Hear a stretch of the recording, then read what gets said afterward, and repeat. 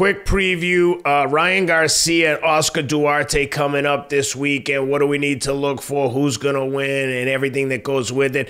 This segment brought to you by our friends at MyBookie. Check them out at mybookie.ag. Use the promo code ATLAS for 50% credit on your first deposit. Teddy, give your uh, analysis, but before you give your prediction, let me pull up the line. So tell me what we should look for, and I'll tell you what the line is when you're done.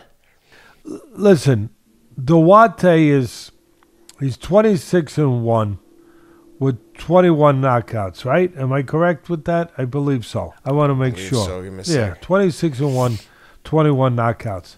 Oscar Duarte. He's a this is what he is. He's a real opponent. He's you know obviously You got it. 26 and 1, 21 knockouts. Obviously the money guy here, you know, the golden goose, the guy that they want to protect is Ryan Garcia. He's coming off a knockout loss to a great fighter, one of the best fighters in the business, um, to to Tank Davis. Uh, this is a, obviously, if he's going to continue his career, he's got to have a win and hopefully a good showing. Uh, does does uh, Ryan Garcia, but this opponent is a real opponent. He's he's strong physically. He's aggressive.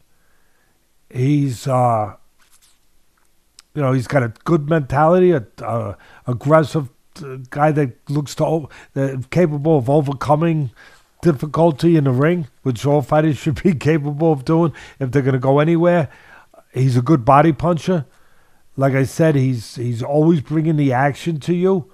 Uh, he he loves to use his left hook. His left hook is a big punch, whether it's to the body, the head. Uh, he does throw a lot of single shots, but he will put combinations when he traps you on the ropes. If he can trap, he wants to trap you on the ropes. He wants to get in close. He's not going to win on the outside.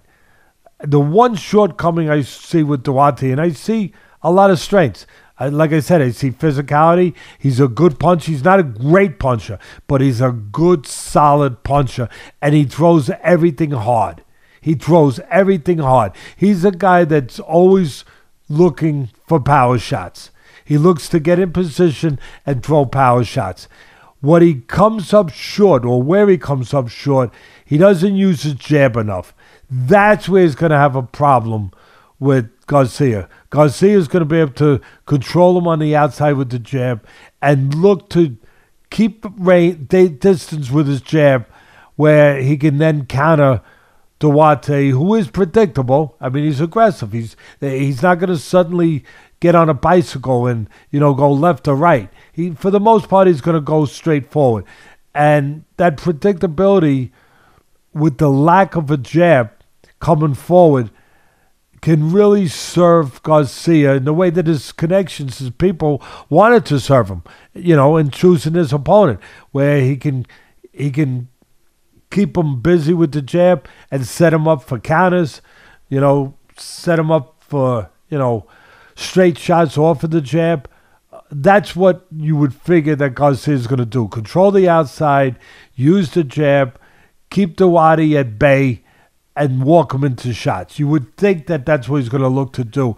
Uh, even walk him into his counter hook. And Garcia's got a, Ryan Garcia's got a very good counter hook. Uh, so at the Let end me of, give you the line. yeah, at the end of the day, I I think that well, go ahead, give me the lines. Got uh, Ryan Garcia, pretty big favorite here at minus 450. You getting plus 280 back on uh, Duarte. Yeah, uh, look, Duarte, they picked him. They're not dumb. They picked him for a reason. But I also am seeing that the guy's a live dog. He's a live dog in a way that he's a game guy. He's, you know, you can, he's going to give you a full effort. He's going to be aggressive until you make him not be aggressive by hurting him if that's what you can do. Uh, as I said, his shortcoming is he doesn't jab enough. If you're going to be aggressive, you better put some bugs on the windshield, as I like to say when I was calling the fights ringside at ESPN all those years, where you use your jab to just to blur the vision of the guy on the outside. So when you're coming in, it's harder for him to time you, harder for him to pick shot, to pot shot you. Without the jab, it's going to be easier for for uh, Ryan Garcia to pot shot him, to catch him coming in. That that's the one thing I see a big advantage possibly for Ryan. Uh, if he can get in close and keep his hands free, trap him on the ropes, it's going to be very interesting. One of the other shortcomings of Duarte, or flaws from a technical standpoint, Duarte does something that I always say don't do. And if I got the fighter on the other side, I say look for an opportunity to take advantage of that. And what that is is he'll sometimes load up. Lead with the left hook. Yep, you got it. He'll load up with the left hook. You you've heard it before. He'll he'll load up with that big left hook coming in. Maybe even jump in with it a little bit. And if Garcia is ready for that, uh, he can time it with a straight right hand because straight beats round. It's that simple. Well, I know Ryan listens to the show, so that's one tip that he should be picking up on right away. Yeah, and that so that's he's got two things. One, he can score with the right hand, maybe in between the hook. The other is he can try to really dominate the fight with his jab, keep Duarte from getting to his sweet spot, uh, his comfort area, which would be close inside where he can do the work that he likes to do. I, I'm gonna. Duarte needs to get close. Garcia needs to keep him outside. I'm going to say Garcia gets his way uh, enough to win the fight. Maybe even set up a good counter opportunity where he could hurt Duarte coming in, have an opportunity to do that. Uh, I'm going to take. I'm going to go with Garcia. And uh, if it's a close fight, you know who's getting it anyway. You know, it's it's ob- right. obviously going to be Garcia. So I'm, I'm going to go with. Uh, unfortunately, I wish I wasn't saying that in my sport that I love, but it's a reality that that's just the way it is. But I'm going to go with. I'm going to go with Ryan Garcia, but it could be interesting it, and and at least worthwhile watching because, like I said, Duarte's real. He's real in a way that you know he's physically strong and he's got an attitude that you want in a fighter to try to get to yep. you, to come forward and try yep. to get to you. So um, what's the under over? Because that might be where you don't have to lay so much.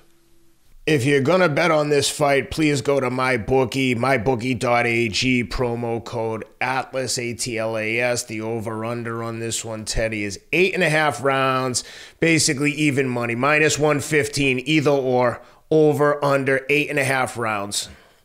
I'm going to say it's going to go over. I'm going to say it's going to go over. Duarte's Interesting. experienced enough, tough enough, unless, like I said, unless he throws one of those left hooks at an inopportune time where right hand's coming.